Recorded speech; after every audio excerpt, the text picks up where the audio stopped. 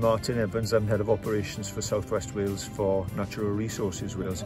I'm also the Senior Responsible Officer for the for the Lifequake project, picking up from the vestiges of our exit from the European Union and taking advantage of the funding there with some other project partners to do some real deep meaningful conservation work around our special areas of conservation particularly on uh, quaking bogs as they know hence the title of the project Life Quake and um, we've got some really good project partners on board here who are funding partners as well. And that's the National Park Authorities in Snowdonia and Pembrokeshire, as well as the National Trust. So we're all around the table here. There is going to be some great opportunities to work in partnership with local stakeholders.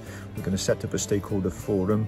There's some real opportunities to just learn a lot more about uh, quaking bogs and their importance culturally, economically in terms of access and recreation enjoyment as well as for biodiversity reasons in their own right really. We hope this project will help address some issues around the, both the nature and the climate emergency at the same time.